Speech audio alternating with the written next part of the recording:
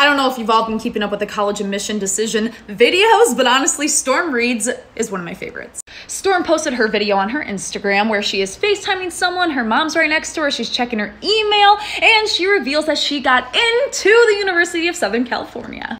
Storm also shared on her Instagram stories that people from set decorated her trailer, and honestly, celebs, they're just like us, except, you know, sometimes we aren't on set in a trailer waiting to go act.